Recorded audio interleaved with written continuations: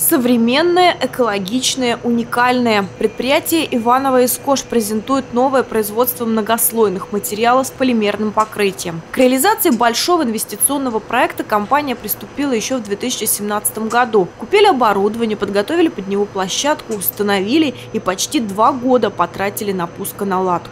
Для страны, безусловно, уникально. Она очень уникальна не только для нашей страны, но и для стран Азии, для стран э, Европы, потому что позволяет использовать не только ПВХ, э, но и полиуретаны. То есть линия сама состоит из нескольких частей, и часть линии э, вторая, она изготовлена в взрывозащищенном исполнении, что предполагает использование полиуретанов на растворителях. Работу новой линии оценил губернатор Станислав Воскресенский и директор департамента Минпромторга Евгений Рыжов. Общий объем инвестиций в этот проект составил порядка 700 миллионов рублей. Воплотить в жизнь грандиозную задумку стало возможным благодаря поддержке Минпромторга и займу под 1% Фонда развития промышленности. Мы сегодня на уникальном, я считаю, предприятии, которое производит тентовые материалы и занимает более трети российского рынка.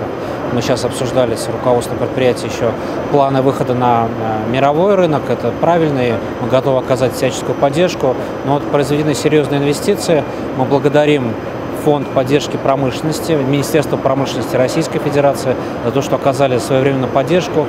Средняя зарплата на предприятии порядка 32 тысяч рублей. На новом участке чуть выше. Инвестпроект позволил организовать более 40 новых высокопроизводительных рабочих мест. Следующий шаг для Иванова и Скош – выход на мировой рынок. Елена Белова, Денис Денисов, РТВ Иванова.